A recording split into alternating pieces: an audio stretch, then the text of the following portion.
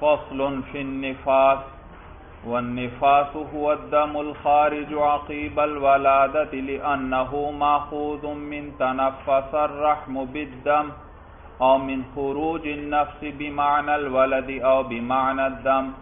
والدم, والدم الذي تراه الحامل ابتداء أو حال ولادتها قبل خروج الولد استحاظة.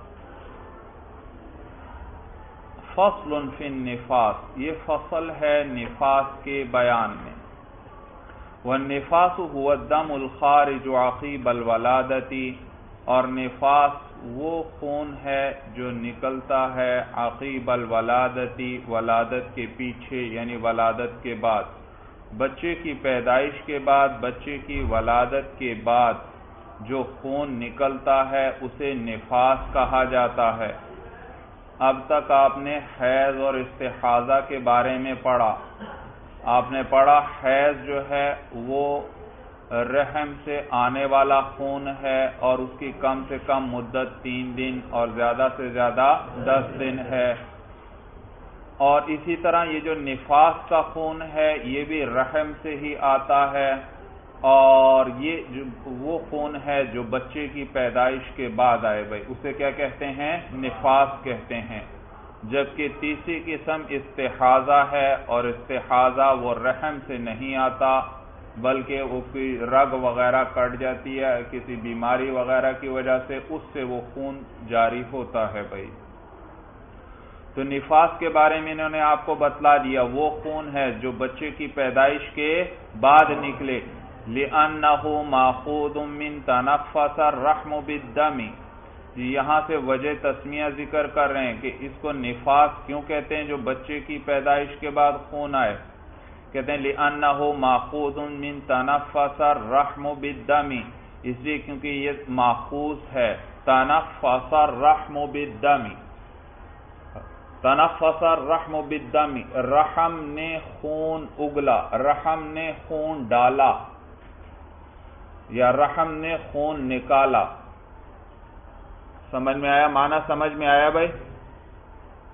عرب کا کلام ذکر کر رہے ہیں۔ تنفس الرحم بالدم۔ عرب کہتے ہیں، کب کہتے ہیں؟ جب رحم سے خون نکلے، وہ کیا کہتے ہیں؟ تنفس الرحم بالدم۔ یہ اسی سے محفوظ ہے، اسی وجہ سے اس کو نفاس کہتے ہیں۔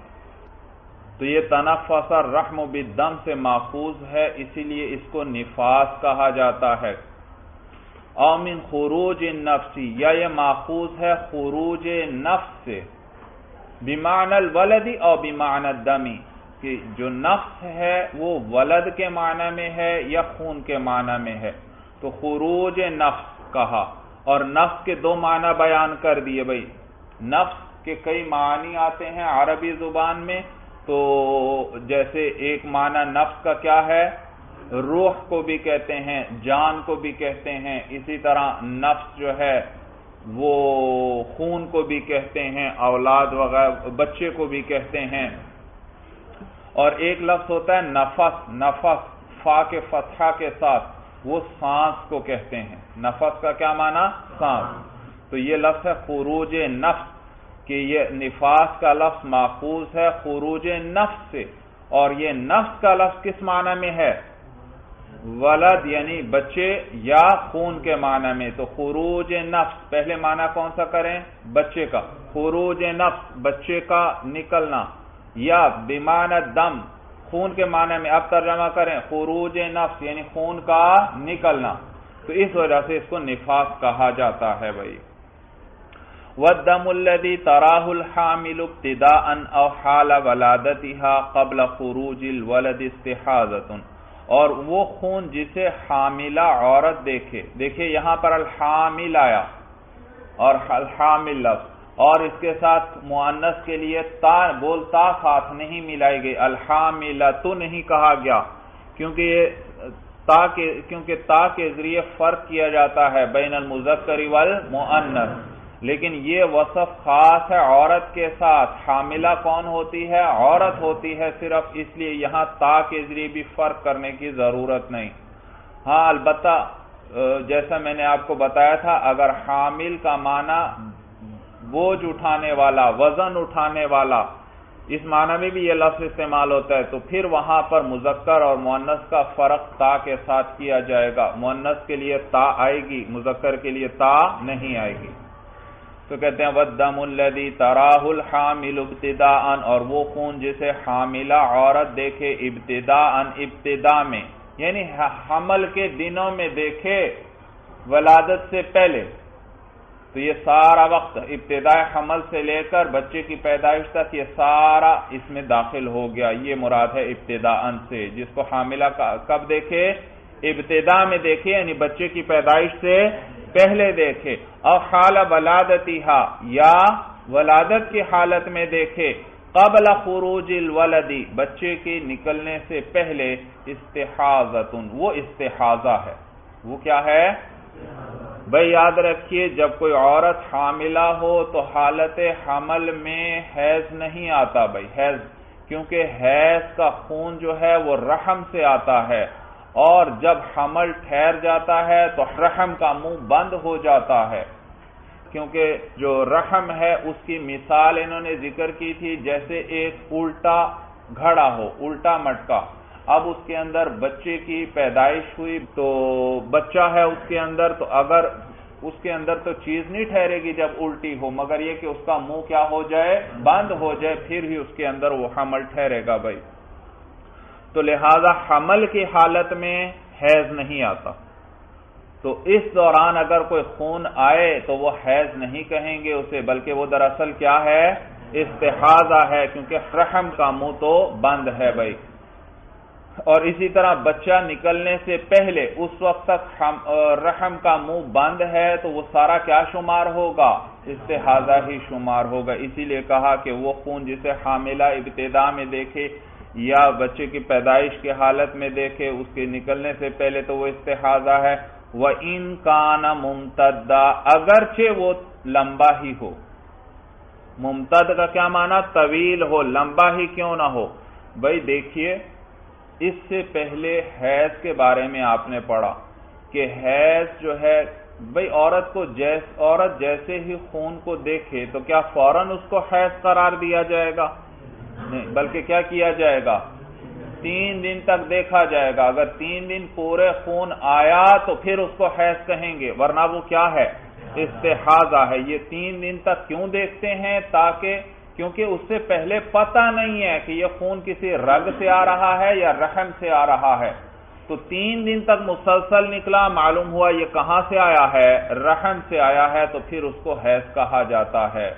تو یہاں پر بھی اگرچہ وہ خون لمبا ہی کیوں نہ ہو جائے؟ یعنی حیض کی مدت کو ہی کیوں نہ پہنچ جائے؟ پھر بھی اس کو حیض نہیں کہیں گے۔ حمل کی حالت میں عورت نے خون دیکھا۔ ابتدا میں یا بچے کی نکلنے سے پہلے، بچے کی پیدائش سے پہلے، یہ سارا استحاظہ ہی کہلائے گا، اگرچہ یہ خون لمبا ہی کیوں نہ ہو یعنی حیض کی مدت کو ہی کیوں نہ پہنچ جائے۔ یعنی تین یا تین سے زیادہ دن تک ہی کیوں نہ آ جائے، پھر بھی اس کو حیض نہیں کہیں گے، بلکہ اس کو کیا کہیں گے؟ استحاظہ کہیں گے، کیونکہ میں نے وجہ ذکر کر دی، کیونکہ جب بچہ ہے پیٹ میں تو رحم کا منہ کیا ہو جاتا ہے؟ بند ہو جاتا ہے، تو یہ خون معلوم ہوا، اس سے نہیں آیا بھائی۔ سمجھ میں وہ ان کا ممتدہ اگرچہ وہ خون لمبا ہی کیوں نہ ہو یعنی چاہے حیض کی مدت کو ہی کیوں نہ پہنچ جائے۔ وقال الشافعی رحمہ اللہ تعالی رحمتا واسع حیض اعتبارا بالنفاس اور امام شافی رحم اللہ فرماتے ہیں کہ یہ حیض ہے قیاس کرتے ہوئے نفاس پر۔ وہ اس کو نفاس پر قیاس کرتے ہوئے اسے حیض قرار دیتے ہیں۔ سمجھ میں آیا بھائی؟ از ہوما جمی امین رحمی اس لیے کیونکہ یہ دونوں خون رحم سے آتے ہیں، حیض کا خون بھی اور نفاس کا خون بھی۔ اور نفاس کا خون تو آتا ہے بچے کی پیدائش کے بعد، اور یہ اس سے پہلے ہے۔ لہذا اس کو کیا قرار دیتے ہیں وہ؟ حیض قرار دیتے ہیں بھائی حیض قرار دیتے ہیں۔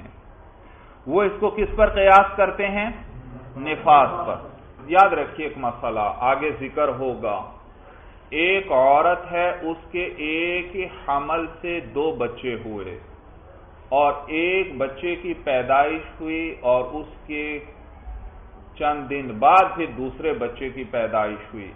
تو پہلے بچے کی پیدائش کے بعد جو خون آئے، وہ وہ خون آئے، وہ کیا ہے؟ نفاس ہے۔ بھائی شیخین رحمہ اللہ کے نزدیک وہ نفاس ہے۔ تو امام شافی رحم اللہ فرماتے ہیں کہ یہاں پر اس کے پیٹ میں ابھی بھی حمل ہے۔ ابھی بھی کیا ہے؟ اور پھر بھی رحم سے خون آ رہا ہے۔ پھر بھی کس سے خون آ رہا ہے؟ رحم سے۔ تو حالت حمل میں بھی حمل، رحم سے خون آ سکتا ہے۔ سورج سمجھ میں آ رہی ہے بھائی؟ ایک بچے کی پیدائش ہو گئی، اس کے بعد جو خون آیا، اس کو شیخین رحمہ اللہ کیا قرار دے رہے ہیں؟ نفاس قرار دے رہے ہیں۔ حالانکہ ابھی بھی ایک بچہ جو ہے، وہ پیٹ میں ہے، تو حمل ہے، لیکن حمل ہونے کے باوجود خون جو نکل رہا ہے، اس کو نفاس قرار دیا جا رہا ہے۔ اور نفاس تو وہ خون ہوتا ہے جو رحم سے آتا ہے۔ معلوم ہوا یہ خون کس سے آ رہا ہے؟ رحم سے آ رہا ہے۔ معلوم ہوا حمل کی حالت میں بھی رحم سے خون آ سکتا ہے۔ رحم سے خون آ سکتا ہے۔ تو یہاں پر بھی بچے کی پیدائش سے پہلے یا ابتدا کی حالت میں عورت کو خون آتا ہے تو یہ خون رحم سے ہو سکتا ہے۔ اور جب رحم سے خون ہے تو پھر اس کو کیا قرار دیا جائے گا؟ حیض قرار دیا جائے گا، کیونکہ نفاس تو قرار نہیں دے سکتے، وہ تو بچے کی پیدائش کے بعد ہوتا ہے۔ مسئلہ سمجھ میں آیا؟ دلیل ان کی سمجھ میں آ گئی بھائی۔ یہ مانا ہے کہ وقال شافعی رحم اللہ، حیض اعتبارا بالنفاس۔ امام شافی رحم اللہ فرماتے ہیں کہ یہ حیض ہے، قیاس کرتے ہوئے اس کو نفاس پر۔ ادہما جمیعا من الرحمی سی کیونکہ یہ دونوں خون جو ہوتے ہیں، رحم سے ہوتے ہیں۔ ولنا اور ہماری دلیل یہ ہے ان بالحبل ينصد فم الرحم قدل عادت کہ حبل سے، حبل حمل کو کہتے ہیں۔ کہ حمل کی وجہ سے ینصد فم الرحم۔ انصد ینصد کے معنی بند ہو جانا۔ حمل کی وجہ سے رحم کا منہ بند ہو جاتا ہے۔ قدل عادت اسی طرح عادت ہے۔ عام طور پر اسی طرح ہوتا ہے کہ کیا؟ جب حمل عورت کو ٹھہر جائے تو رحم کا منہ بند ہو جاتا ہے۔ ون نفاس بادن فتاح ہی بخروج الولدی اور نفاس جو ہوتا ہے وہ اس رحم کا منہ کھلنے کے بعد ہوتا ہے بخروج الولدی بوجہ بچے کے نکلنے کے، اس کی پیدائش کے۔ بھائی دیکھیے، جب عورت حاملہ ہوئی تو رحم کا منہ بند ہو گیا۔ اور جب رحم کا منہ بند ہوا تو اس دوران جو خون آیا معلوم ہو وہ رحم سے نہیں آ رہا کیونکہ اس کا منہ بند ہے۔ اور ہاں جب بچے کی پیدائش ہوتی ہے تو رحم کا منہ کھل جاتا ہے بچے کے نکلنے کی وجہ سے۔ اور جب منہ کھل گیا، اب جو خون آیا معلوم ہوا وہ کہاں سے آ رہا ہے؟ رحم سے آ رہا ہے بھائی۔ سورج سمجھ میں آ گئی؟ تو نفاس جو ہوتا ہے بادن فتاح ہی بخروج الولدی وہ اس رحم کا منہ کھلنے کے بعد ہوتا ہے اس بچے کے نکلنے کی وجہ سے۔ ولیحدہ کان نفاس ہم خروج باز الولدی اسی لیے وہ خون نفاس ہوگا بعض ولد کی نکلنے کے بعد۔ بھائی بچے کی پیدائش ہو رہی ہے، کچھ بچہ، کچھ بچے کی پیدائش ہو چکی ہے، کچھ نکل چکا ہے۔ اس حالت میں بھی جو خون آئے، اس کو کیا کہیں گے؟ نفاس۔ اگرچہ ابھی پورا بچہ نکلا نہیں، پورے بچے کی پیدائش نہیں ہوئی، لیکن کچھ بچہ نکل چکا۔ جب کچھ نکلا ہے، معلوم ہوا رحم کا منہ کھل چکا ہے۔ جب رحم کا منہ کھل گیا تو اب جو خون آ رہا ہے، معلوم ہوا کہاں سے آ رہا ہے؟ رحم سے آ رہا ہے۔ لہذا اس کو کیا قرار دیا جائے گا؟ اس کو نفاس قرار دیا جائے گا۔ اور اسی لیے وہ نفاس ہوتا ہے بعد خروج بعض الولدی بعض بچے کی نکلنے کے بعد، فی ما یوروا عن ابی حنیفہ و محمد رحمہم اللہ تعالی۔ اس روایت میں جو مروی ہے، طرفین رحمہم اللہ سے لئنہو ینفتح۔ اس لیے کیونکہ رحم کا منہ جو ہے، وہ کھل جاتا ہے۔ فیتنفس بھی ای فیتنفس بالدمی تو وہ خون اگلتا ہے، خون ڈالتا ہے۔ رحم کا منہ کھل جاتا ہے تو وہ خون اگلتا ہے، خون نکلتا ہے اس میں سے۔ کیا دلیل ہوئی؟ امام شافی رحم اللہ کیا فرماتے تھے؟ یہ حیض ہے، کس پر قیاس کیا تھا؟ نفاس پر۔ اور میں نے مسئلہ ذکر کر دیا کہ وہ جو بچے، دو بچوں میں سے ایک کی پیدائش کے بعد جو خون آتا ہے، اس کو بھی اس اس کو کیا ہم کہتے ہیں؟ نفاس کہتے ہیں معلوم ہوا۔ ابھی حالانکہ حمل ایک پیٹ میں ہے ایک بچہ لیکن پھر بھی معلوم اور رحم سے خون نکل سکتا ہے۔ تو وہ بچے کی پیدائش کے بعد ہے اس لیے آپ نے اس کو نفاس قرار دیا۔ اور یہاں بھی بچے کی پیدائش نہیں ہوئی لیکن خون آیا ہے۔ تو اور حمل کے ہوتے ہوئے بھی خون آ سکتا ہے رحم سے لہذا اس کو کیا قرار دیں گے؟ حیض قرار دیں گے۔ دلیل ہماری گزر گئی۔ ہم کہتے ہیں نہیں، ایسا ہو نہیں سکتا۔ عادتاً ایسا نہیں ہوتا کہ جب، کیونکہ جب عورت کو حمل ٹھہر جاتا ہے تو رحم کا منہ بند ہو جاتا ہے۔ اور وہاں پر ہم نے حیض کیوں، وہاں پر ہم نے نفاس کیوں قرار دیا تھا؟ کیونکہ وہاں ایک بچے کی پیدائش ہو گئی تھی، جب ایک بچہ نکل آیا، معلوم ہوا رحم کا منہ کھل چکا ہے۔ اب جو خون آیا ہے، وہ کہاں سے آیا ہے؟ رحم سے آیا، اس لیے ہم نے وہاں پر نفاس قرار دیا تھا۔ اور یہاں تو ایسا نہیں ہے، اور رحم کا منہ بند ہے۔ لہذا اب جو خون آئے گا، معلوم ہو وہ رحم سے نہیں آیا، وہ کسی رگ وغیرہ سے آیا ہے۔ تو اس کو استحاضہ قرار دیا جائے گا، نہ کہ حیض دلیل سمجھ میں آ گئی بھائی؟ وسخت الدی تبان باز خلق ہی ولدن سخت کہتے ہیں نا تمام بچہ، نامکمل بچہ۔ الزی استبانہ استبانہ کے معنی ظاہر ہونے کے۔ وہ نامکمل بچہ کے ظاہر ہو چکی ہو، بعض خلق ہی اس کی بعض پیدائش۔ ولدن وہ بھی بچہ ہے بھائی یعنی اسی کے حکم میں ہے۔ بھائی مسئلہ یہاں سے یہ بتلانا چاہتے ہیں اوپر تو انہوں نے آپ کو بتا دیا کہ بچے کی پیدائش کے بعد جو خون آئے گا وہ نفاس ہے بھائی، نفاس۔ اور وہاں نفاس کے احکامات لگیں گے۔ اور اس سے پہلے جو خون آیا وہ استحاضہ ہے اور وہاں استحاضہ کے احکامات لگیں گے بھائی۔ اب ایک عورت ہے، اس کو نا تمام بچے کی اس کی پیدائش ہوئی بھائی۔ سمجھ میں آیا بھائی؟ نا تمام بچے کی پیدائش ہو گئی وقت سے پہلے ہی، تو اب اس کے بعد جو خون آیا، کیا اس کو نفاس قرار دیں گے یا نفاس یا اس کو استحاضہ قرار دیں گے؟ تو ذکر کر رہے ہیں کہ اگر اس بچے کی کچھ خلقت ہو چکی ہے، کچھ یعنی اس کے اعضاء وغیرہ بن گئے ہیں تو پھر یہ بچے کے حکم میں ہے۔ یہ جو نا تمام بچہ ہے، یہ بھی کس کے حکم میں ہے؟ بچے کے حکم میں ہے۔ اور بچے کی پیدائش کے بعد جو خون آتا ہے، وہ تو نفاس ہوتا ہے۔ لہٰذا اب جو خون ہے اس کو بھی کیا کہیں گے؟ نفاس۔ اور اگر اس بچے کی کچھ خلقت بھی نہیں مکمل ہوئی، بلکہ صرف گوشت کا ایک لوتھڑا ہے، تو پھر یہ بچے کے حکم میں نہیں ہے۔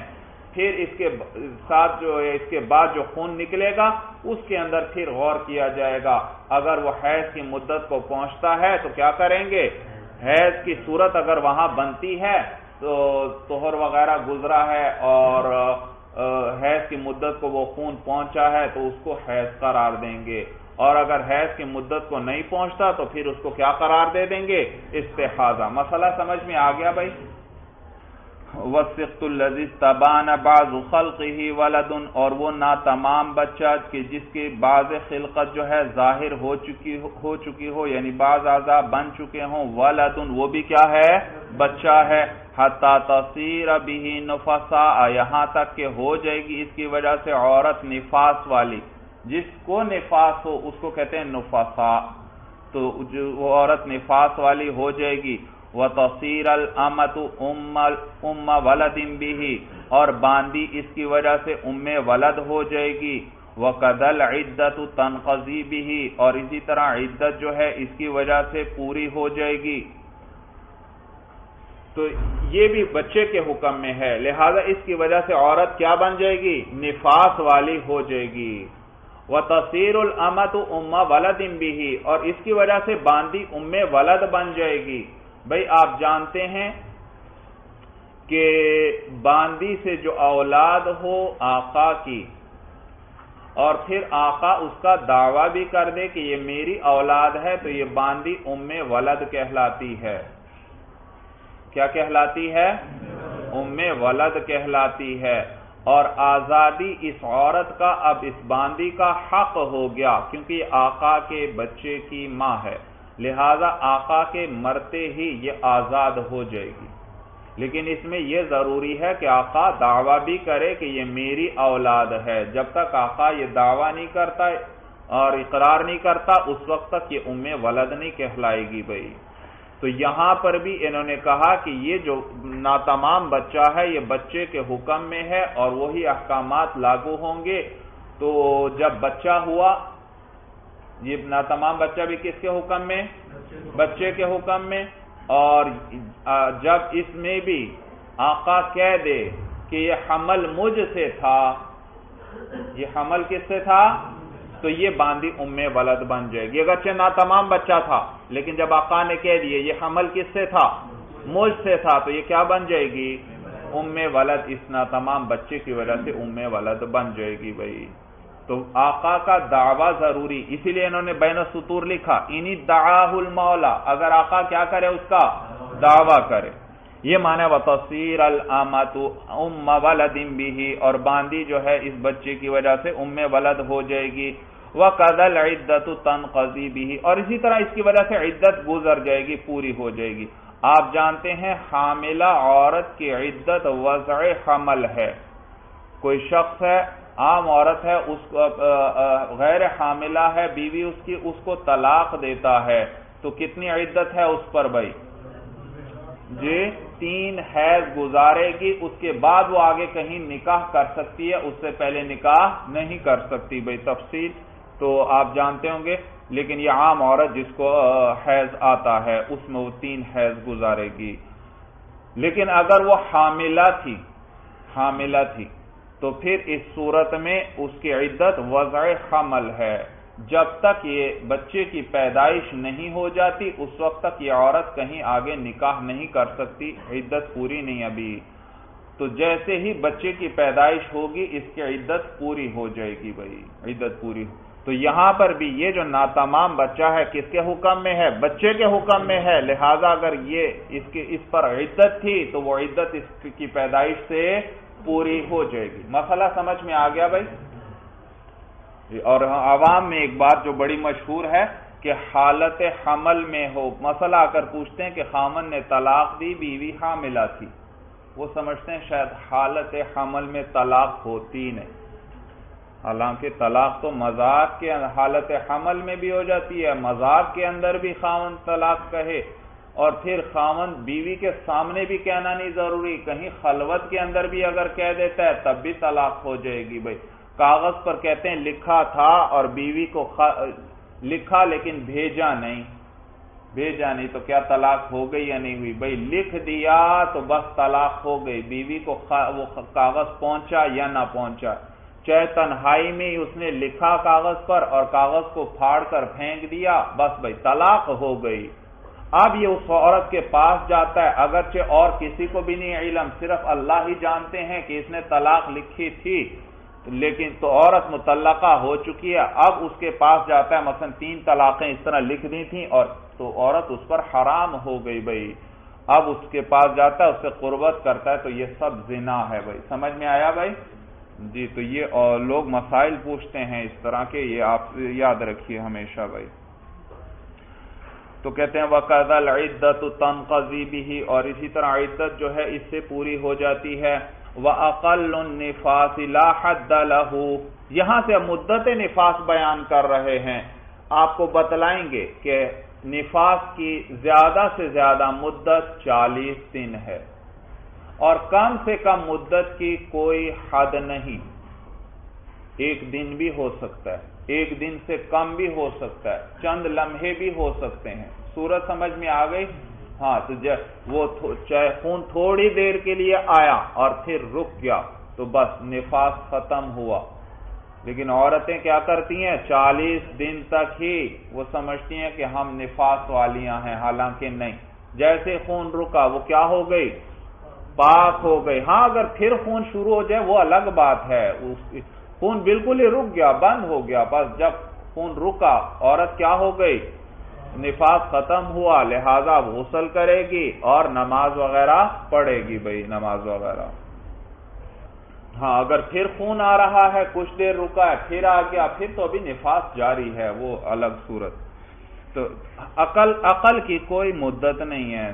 وَأَقَلُّ النِّفَاسِ لَا حَدَّ لَهُ، اور کم سے کم جو نفاس ہے، اس کی کوئی حد نہیں۔ لِأَنَّ تَقَدُّمَ الْوَلَدِ عَلَمُ الْخُرُوجِ مِنَ الرَّحْمِ فَأَغْنَى عَنِ امْتِدَادٍ جُعِلَ عَلَمًا عَلَيْهِ بِخِلَافِ الْحَيْزِ تو ہدایہ کی فصیح و بلیغ عبارات چل رہی ہیں بھئی صاحب ہدایہ بڑی مختصر عبارت کے اندر بڑی لمبی بات کہہ جاتے ہیں۔ دیکھیے اب بھئی لأن تقدم الولد علم الخروج من الرحم فأغنى عن امتداد جعل علما عليه بخلاف الحیض کتنی مختصر عبارت میں کتنی لمبی بات کر گئے. بھئی دیکھیے، حیض کے اندر ایک عورت ہے، اس کو جیسے خون آتا ہے، آپ اس پر کیا حیض کا حکم فوراً لگاتے ہیں؟ نہیں، بلکہ کیا کرتے ہیں؟ تین دن تک دیکھا جائے گا۔ تین دن مسلسل ہوگا تو پتا چل جائے گا حیض ہے۔ تو معلوم ہوا وہاں پر خون کا لمبا ہونا ضروری ہے۔ یہ خون کا لمبی مدت تک یعنی تین دن تک آنا، یہ علامت ہے اس بات کی کہ یہ خون کہاں سے آ رہا ہے؟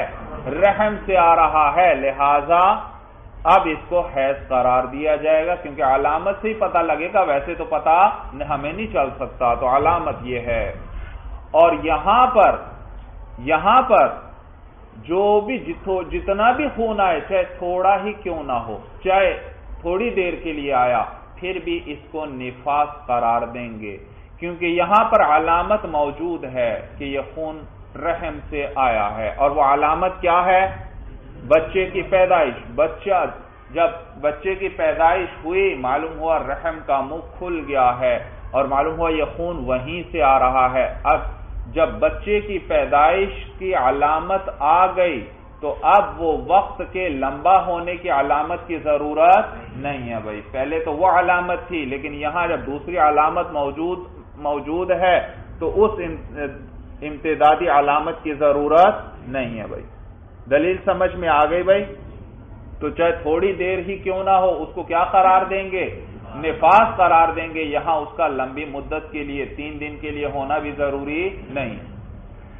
یہ مانا ہے، لِأَنَّ تَقَدُّمَ الْوَلَدِ عَلَمُ الْخُرُوجِ۔ اس لیے کیونکہ بچے کا مقدم ہونا یعنی اس خون پر بچے کا مقدم ہونا یعنی جو بچے کی پیدائش ہوئی ہے یہ عالم الخروج من الرحمی یہ علامت ہے رحم سے نکلنے کی بھئی۔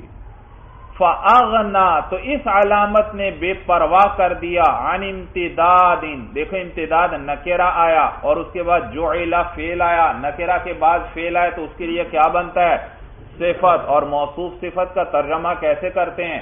موصوف سے پہلے ایسا یا ایسی کا لفظ۔ تو امتداد کا کیا معنی ہے؟ طویل ہونا، لمبا ہونا، طوالت یعنی۔ تو فاغنا عن امتداد، تو اس نے، اس اس بچے کی مقدم ہونے کی جو علامت ہے، اس نے بے نیاز کر دیا۔ عن امتداد، ایسی، ایسے ممتد ہونے سے، ایسی طوالت سے جو علمن علیہ جس کو اس پر نشانی قرار دیا گیا ہے۔ پہلے کیا نشانی تھی؟ حیض کے اندر خون کا ممتد ہونا تین دن تک۔ اب جب بچے کے پیدائش ہو گئی تو یہ بچے یہ اس نشانی نے اس نشانی سے کیا کر دیا؟ بے نیاز کر دیا۔ اب اس نشانی کی ضرورت نہیں کہ تین دن انتظار کیا جائے، دیکھا جائے، تین دن ہو جاتا ہے تو پھر حکم لگائیں گے یا رحم سے ہے۔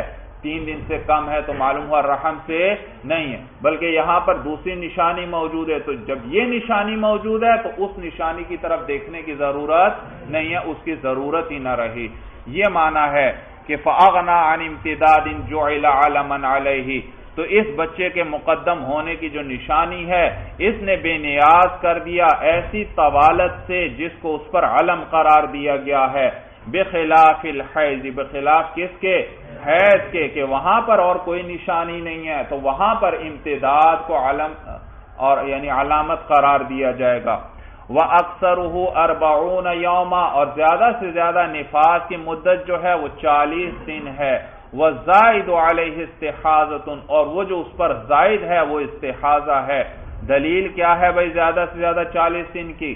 کہتے ہیں لحدیث ام سلمت رضی اللہ تعالی عنہ حضرت ام سلمہ رضی اللہ تعالی عنہ کی حدیث کی وجہ سے سلمہ لام پر فتحہ پڑھنا بھائی۔ حضرت ام سلمہ رضی اللہ تعالی عنہ کی حدیث کی وجہ سے وہ فرماتی ہیں کہ ان النبی علیہ السلام وقت للنفساء اربعین یوما وہ فرماتی ہیں کہ نبی کریم صلی اللہ علیہ وسلم نے وقت مقرر فرمایا نفاس والی کے لیے اربعین یوما کتنے دن؟ چالیس دن۔ بھئی یہ حدیث دلیل ہے۔ وہ حجت علی الشافعی رحمہ اللہ فی اعتبار ستین تو اور امام، یاد رکھیے امام شافی رحمہ اللہ کے نزدیک نفاس کی زیادہ سے زیادہ مدت ساٹھ دن ہے، ساٹھ دن۔ تو صاحب ہدایہ فرماتے ہیں وہ ہوا حجتن یہ حدیث دلیل ہے علی شافعی رحم اللہ امام شافی رحم اللہ کے خلاف فی اعتبار ستین ساٹھ کا اعتبار کرنے میں۔ انہوں نے زیادہ سے زیادہ مدت کتنی معتبر کی ہے؟ ساٹھ دن۔ تو ان کے خلاف بھی یہ حدیث دلیل ہے کہ اس حدیث میں چالیس دن کا ذکر آیا ہے۔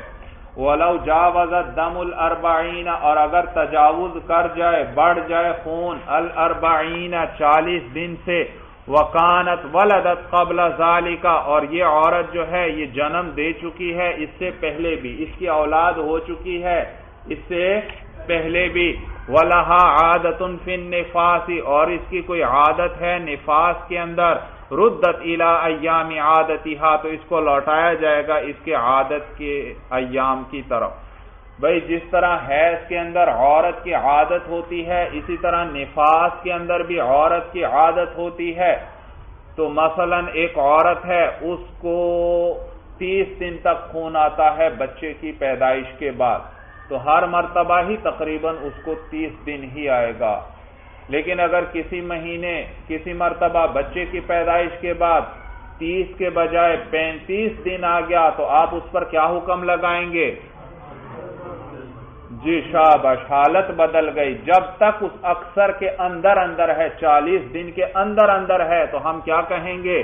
عادت بدل گئی بھائی۔ یہ نہ کہہ دینا کہ تیس دن نفاس ہے اور پانچ دن استحاظ بلکہ جب تک اس مدت کے اندر ہے، تو ہم کہیں گے عادت بدل گئی۔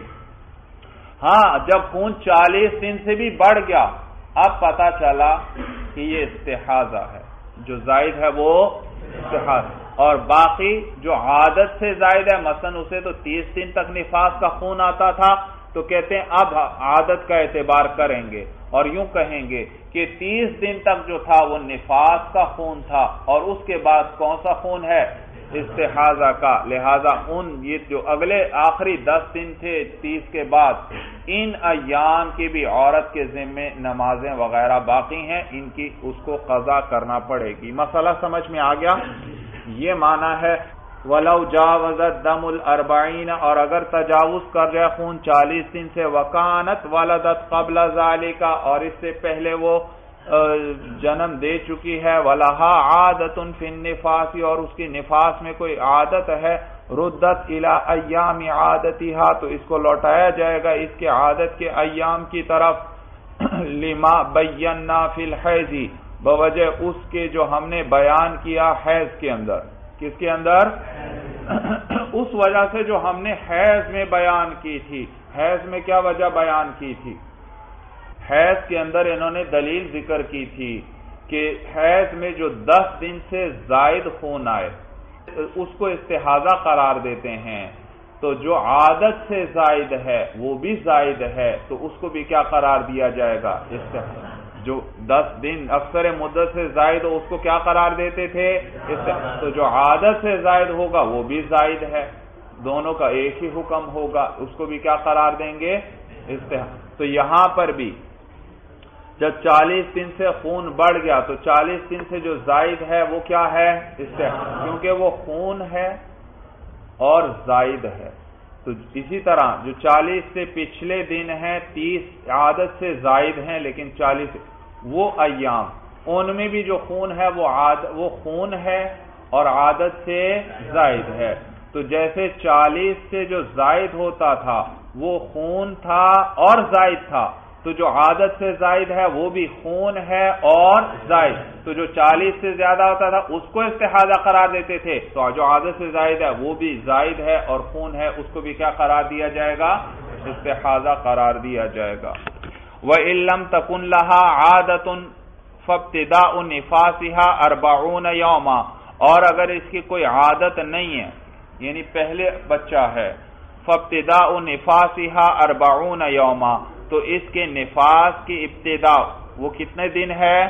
چالیس دن ہے یعنی پورے چالیس دن ہی کو جو ہے اس کو نفاس قرار دیا جائے گا۔ کب؟ جب خون چالیس دن سے بڑھ گیا ہے تو سارے چالیس دن ہی کو نفاس قرار دیا جائے گا۔ لِأَنَّهُ أَمْكَنَ جَعْلُهُ نِفَاسًا۔ اس لیے کیونکہ اس کو نفاس قرار دینا ممکن ہے۔ اس کو نفاس قرار دینا، کیونکہ نفاس کی بھی زیادہ سے زیادہ مدت حدیث کے اندر کیا آئی؟ چالیس۔ اور اس عورت کا خون چالیس دن سے بھی بڑھ گیا۔ تو چالیس دن کو نفاس قرار دیا جا سکتا ہے یا نہیں بھائی؟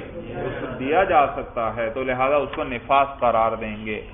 فَإِن وَلَدَتْ وَلَدَيْنِ فِي بَطْنِ وَاحِدٍ فَنِفَاسُهَا مِنَ الْوَلَدِ الْأَوَّلِ۔ صورت مسئلہ یہ، ایک عورت ہے، اس نے ایک ہی پیٹ سے دو بچوں کو جنم دیا، جس کو آپ جڑواں کہتے ہیں۔ کیا کہتے ہیں؟ جڑواں۔ تو ایک ہی پیٹ سے دو بچوں کے ہونے کا معنی یہ ہے کہ ان دو بچوں کے درمیان وقفہ ہے، جو وقفہ ہے، وہ چھ ماہ سے کم ہو۔ بھئی آپ جانتے ہیں، حمل کی کم سے کم مدت چھ ماہ ہے۔ چھ ماہ کے اندر ایک کامل بچے کی پیدائش ہو سکتی ہے، لیکن اس سے کم کے اندر نہیں۔ لہذا ایک عورت نے ایک بچے کو جنم دیا اور پھر چار پانچ ماہ بعد دوسرے بچے کو جنم دیا، تو کیا کہیں گے؟ یہ ایک ہی حمل سے ہیں۔ کس سے ہیں؟ کیونکہ پانچ ماہ گزرے پانچ ماہ میں تو دوسرا حمل ہو ہی نہیں سکتا، اس میں پورے بچے کی پیدائش نہیں ہو معلوم ہوا، یہ ایک ہی حمل تھا۔ ہاں اسی میں دو بچے بنے، ایک کی پیدائش پہلے ہو گئی، ایک کی پیدائش بعد میں ہو گئی۔ سورت سمجھ میں آ گئی؟ تو صورت یہ کہ ایک عورت ہے، اس کے اسی طرح دو جڑواں بچے ہوئے، لیکن ان کے درمیان کچھ دن کا یا کچھ دیر کا فرق آیا۔ اب نفاس کب سے شمار کریں گے؟ پہلے بچے کی پیدائش کے بعد جو خون شروع ہوا، اسی سے نفاس شروع ہو جائے گا۔ یا دوسرے بچے کی پیدائش کے بعد جو خون آئے گا، وہ نفاس کہلائے گا۔ تو یاد رکھیے، آپ کو بتائیں گے کہ شیخین رحمہ اللہ فرماتے ہیں کہ پہلے بچے کی پیدائش کے بعد ہی جو خون ہے وہ کیا ہے؟ نفاس ہے نفاس ہے۔ اور اسی سے مدت نفاس کا اعتبار کریں گے۔ لہذا دوسرے بچے کی پیدائش اگرچہ چالیس دن بعد ہی کیوں نہ ہو، چالیس دن بعد دوسرے بچے کی پیدائش ہوئی، لیکن نفاس تو پورا ہو گیا چالیس دن پر۔ لہذا اس سے آگے اب نفاس والے احکام نہیں لگیں گے۔ مسئلہ سمجھ میں آیا بھائی؟ فَإِن وَلَدَتْ وَلَدَيْنِ فِي بَطْنِ وَاحِدٍ فَنِفَاسُهَا مِنَ الْوَلَدِ الْأَوَّلِ۔ اگر جنم دیا عورت نے دو بچوں کو ایک ہی بطن سے، ایک ہی پیٹ سے فَنِفَاسُهَا مِنَ الْوَلَدِ الْأَوَّلِ، تو اس عورت کا نفاس جو ہے پہلے بچے سے ہے۔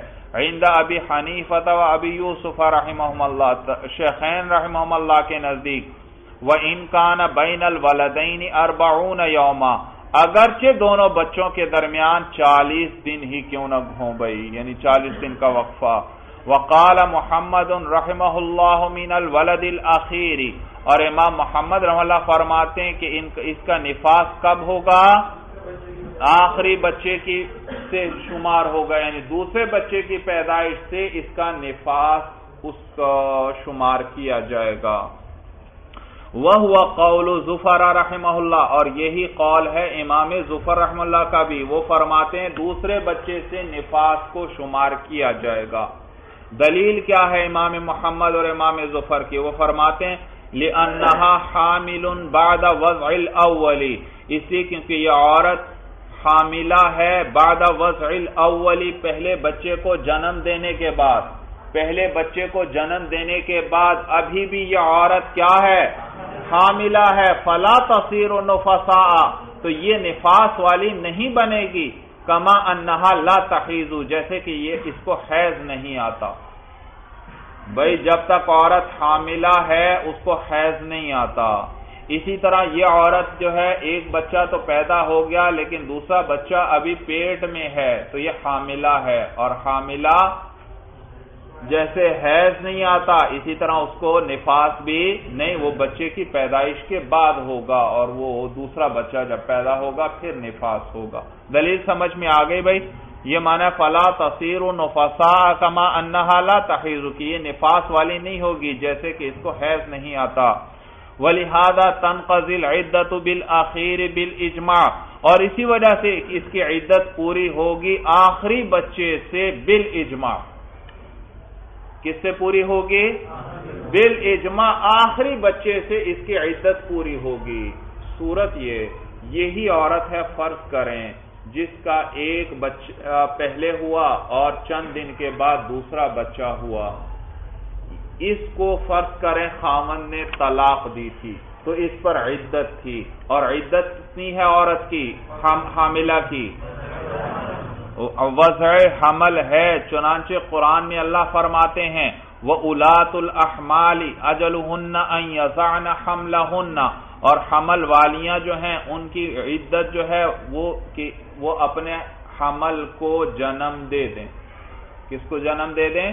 اپنے حمل کو جنم دے دیں۔ یہ ہے ان کی عدت۔ تو بال اجماع اس پہلے بچے کی پیدائش سے اس عورت کی عدت پوری نہیں، بلکہ عدت کب پوری ہوگی؟ جب دوسرے بچے کی پیدائش ہو جائے گی، تب اس کی عدت پوری ہو گئی۔ سمجھ میں آیا بھائی؟ جی۔ تو معلوم ہوا اعتبار کس کا ہے؟ دوسرے بچے کا ہے، لہذا نفاس کا شمار بھی کس سے ہوگا؟ دوسرے بچے سے ہوگا بھائی۔ مسئلہ سمجھ میں آیا بھائی؟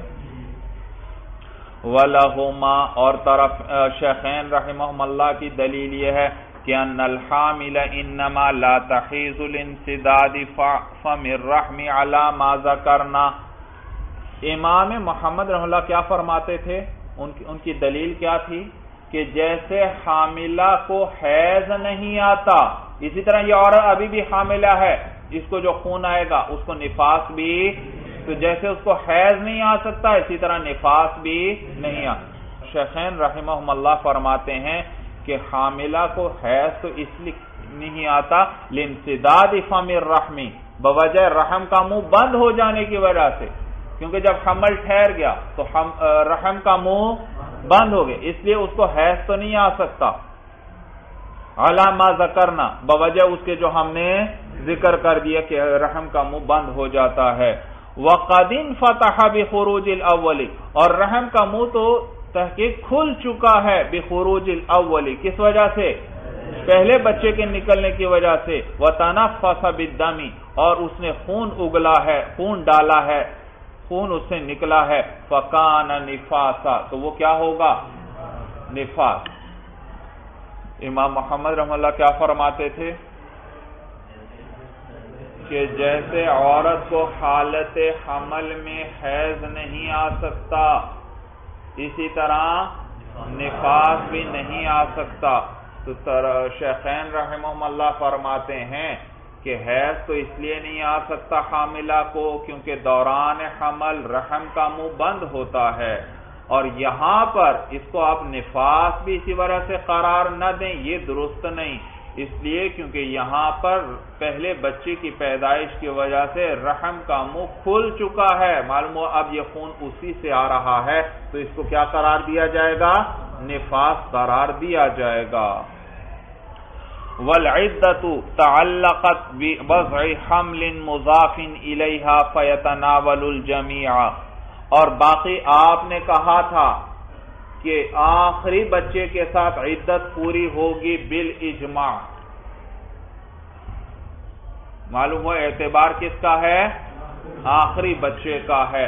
تو ہم جواب دیتے ہیں شیخین رحم اللہ جواب دیتے ہیں کہ وہاں پر قرآن میں اللہ فرماتے ہیں اجل وہ جنم دے دیں، وہ عورتیں کس کو جنم دے دیں؟ حملہ اپنے حمل کو اپنے جب وہ اپنے حمل کو جنم دے دیں گی تو ان کی عدت پوری ہو جائے گی۔ اب بتائیے بھائی، ایک عورت ہے، اس کے ایک بچے کی پیدائش ہو گئی، ایک بچہ ابھی بھی پیٹ میں ہے، تو آپ کیا کہیں گے؟ اس عورت نے اپنے حمل کو جنم پورے حمل کو جنم دے دیا یا بعض حمل کو ابھی جنم دیا ہے؟ بعض حمل۔ تو قرآن میں تو اللہ فرما رہے ہیں، وہ جب اپنے حمل کو جنم دے دے، تو ابھی تو اپنا اپنے حمل کو پورا اس نے جنم نہیں دیا۔ تو جب اپنے حمل کو پورا جنم دے دیں گی، تو آپ کہیں گے کہ اس نے، عورت نے اپنے حمل کو جنم دے دیا ہے۔ پہلے بچے پر تو کیا کہیں گے؟ بعض حمل کو جنم دیا، ابھی پورے حمل کو جنم نہیں دیا، اس نے ابھی بھی حمل پیٹ میں ہے بھائی۔ سورج سمجھ میں آ گئی۔ تو وہاں پر حملہ حمل کی اضافت ہے ہننا ضمیر کی طرف، ان عورتوں کی طرف کہ وہ جنم دے دیں اپنے حمل کو۔ اور اس سے پھر مراد پورا حمل ہوگا۔ بعض حمل مراد نہیں۔ اور پورا حمل پہلے بچے پر کی پیدائش پر ہوگا یا دوسرے بچے کی؟ دوسرے بچے کی پیدائش پر ہوگا، اسی لیے وہاں پر بل اجماع دوسرے بچے کی پیدائش پر عدت کے پورا ہونے کا علماء فرماتے ہیں بھائی۔ سورج سمجھ میں آ یہ مانا ہے والعدت تعلقت بوضع حمل مضافن مضافن اور عدت جو ہے وہ معلق ہوئی ہے۔ کس کے ساتھ معلق ہے؟ عدت کا پوری ہوگی؟ جب وہ اپنے حمل کو جنم دے دیں۔